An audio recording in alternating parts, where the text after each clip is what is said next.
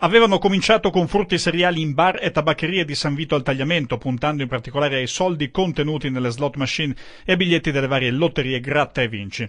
Se trovavano i tagliandi giusti, si spostavano in provincia di Bologna per incassare le vincite, ma non si sono evidentemente accontentati, alzando giorno dopo giorno l'asticella della temerarietà con colpi sempre più complessi e rivolti in questo caso ad aziende ed imprese commerciali.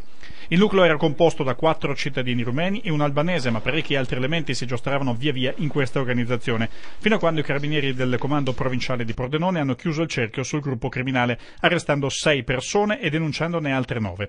Sarebbero responsabili di aver compiuto i furti in aziende, esercizi commerciali e abitazioni un po' in tutto il nord-est, ma in particolare nelle province di Pordenone, Treviso e Venezia.